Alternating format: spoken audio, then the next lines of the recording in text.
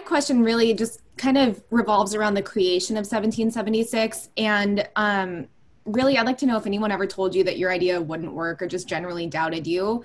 Um, and if so, how you pushed forward through that. Yes. Um, to give you one example of a whole group that told me no, was in order to get the business off the ground, um, we took an SBA loan to, to get things started. We were denied by five banks.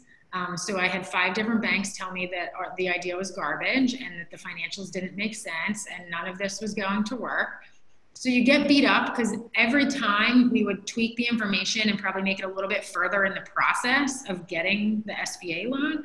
Um, and we got an SBA loan for $75,000. Like it, it wasn't, you know, we were going out and getting $75 million, but it was also money that we didn't have sitting in an account to be able to pour into the, the business, but it was crucial to be able to get it off the ground because it was mostly going to fund a lot of the construction costs of getting the, the, the space ready, which was an important component to that. So going through that process, you, you know, you keep tweaking all the documents, refining your pitch, working on everything, getting a little bit further. So it always feels a little bit worse every time somebody says no.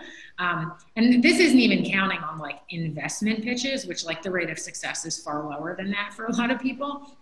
But finally, then just doing enough research to get to the right bank that ended up being a local bank that understood the market and understood what we were trying to do and then was completely game um, for understanding the business concept and knowing that you know who the players were involved and how we were invested in the business going forward. Um, so that it you know it kind of beats you up um, but you have to do whatever is personal to you that that gets you you know back up. Um, i run a lot um, so that's the thing that always makes me go out and then feel like I can kind of conquer the world again.